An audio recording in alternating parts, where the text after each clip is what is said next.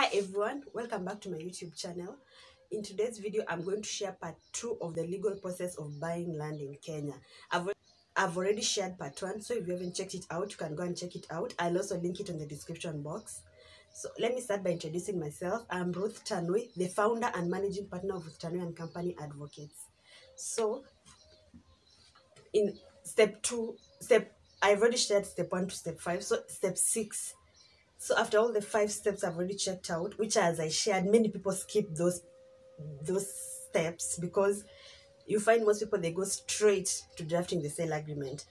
But ensure that you have you have followed all the five steps that I've set out because they are very important. It's more of doing your due diligence to ensure that the land you're buying is exactly what you're looking for. Step six is drafting the sale agreement. This is now where the buyer and the seller get down to writing down now the, what will govern. It's basically what will govern you through the land transaction. So it's mostly done by an advocate.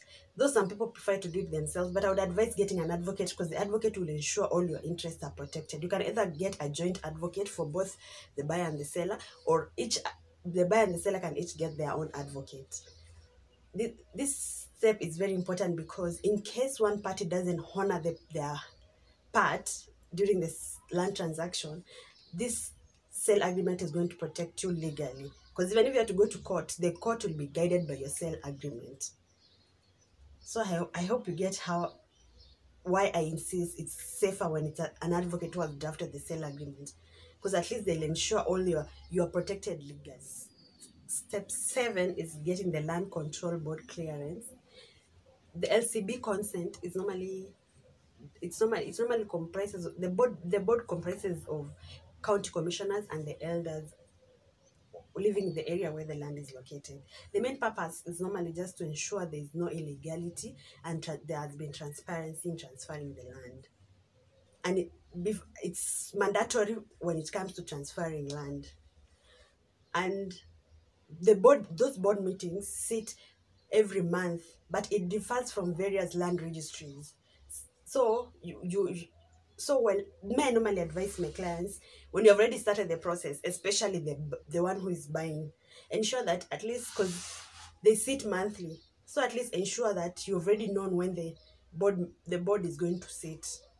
Though sometimes if there's urgency, there's need of urgency, you can get you can have a special board meeting, which is more expensive because the normal board is normally a thousand Kenya shillings, but the special board normally costs around ten thousand to fifteen thousand depending on the land. Step eight is now doing the land valuation. After you've gotten the green light from the land control board, you now go ahead to do the valuation, which is normally done at the land registry where the land is located. The land value is going to do the valuation of the land, which is very important for the purposes of paying of stamp duty. After the valuation of the land has been done, you now have to pay stamp duty. Stamp duty is normally paid if it's your land is within the municipality, it's four percent. If it's outside the municipality, it's two percent.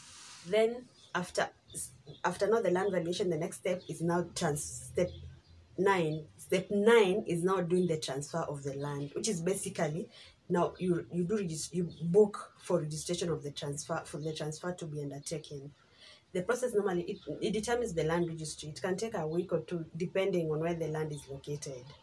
But in especially if it's outside nairobi i normally see the transfer process won't take a lot step 10 step, na- step 10 is not the final step. Now at this time after the transfer has been done a new land title will come with the name of with, with the name of the buyer. But I normally advise my clients just make sure you do a post a postal search after everything has been done just to confirm the land has actually been tr- transferred to you. Yeah, the title might be reading your name, but at the land registry maybe the transfer hasn't been done, and that's where every that's the key thing. So that's why you find in some situations.